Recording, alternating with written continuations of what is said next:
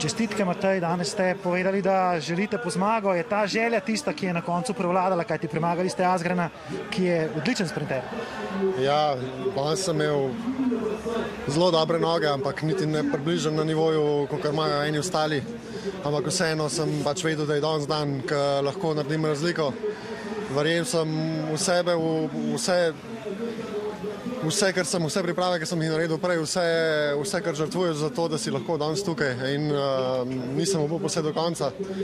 Drugi so ful, ful močnejši. Jaz sem tudi poskušal biti uh, nesebičen in pač pomoriti, kar sem lahko, ampak sem imel vse čas na, na robu svojih zmožnosti. Sploh, ja, zdaj trenutno zbor, ne vem, kako bom jutri uh, prišel znotraj časovne zapore, ampak verjel sem vse do konca, vedel sem, da moram narediti vse perfektno in ker je pač Beno Konor, ker ni tako hiter, kot mi dva z Azgenom, začel svoj sprint, sem pač vedel, da Kaspar mora reagirati. Jaz ne vem, kako lahko to dan za dnem, včeraj bil po begu neverjetno močan in danes spet je naredil naj, največjo razliko. Uh, vedel sem, da moram iti za njim in uh, potem sem gledal, koliko metrov manjka do konca in vedel sem, da če štartam na 100 metrov do cilja z vso močjo, kar jo imam, tisto malo, kar imam, uh, da imam mogoče možnosti in na koncu sem samo vrgel kolo in uh, ostalo položil v božje roke ja. Bilo je dovolj, da zmagam, skoraj se počutim, da bi jih izdal, zato ker so močnejši od mene, ampak uh, ja, očitno je Gino gor iz nebes uh, hotel, da, da jaz dan zmagam. Ja. Veliko čustev kažete o Džinu in tudi uh, z vašo veliko željo. Zdaj je vse trud, ki ste ga vložili v to, poplačan. Kako ste doživeli zadnjih deset minut, tudi ostali tekmovalci so vam veliko čestitali.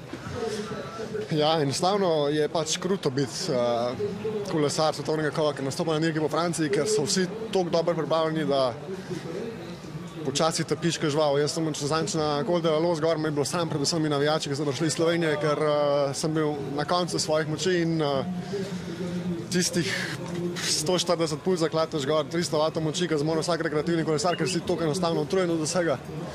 Hkrati si bil 3-4 mesece v doma, uh, pol leta vse skupaj, sploh ne vidiš svoje družine, svojih otrok, uh, svojih bližnjih in uh, pa se počutiš neumno, ne, ker tam od zadaj loviš časovno, loviš časovno zaporo.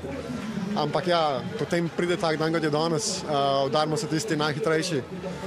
Uh, jaz sem sam pač hotel narediti največ, kar sem lahko za, za sebe, predvsem, predvsem pa za ekipo in za kolesarje, predvsem pa za stav, ki tudi garajo po cele dneve, zjutraj se zbudijo ob šestih, da grejo vsaj malo teč, da nekaj naredijo zase. In zvečer ob polnoči šele nehajo, nehajo delati, zaprejo kamion, ker mi moramo vsak dan menjati zobnike, menjati gume, te gume, une gume, une zobnike. Uh, masaža, terapija, vse to, da si nas ne dan pripravljen in ja, enostavno je to eno veliko garanje.